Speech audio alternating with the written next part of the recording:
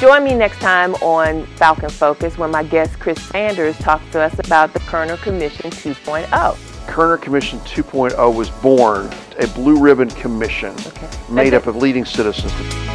Right here on SSC Live TV. It's TV our way.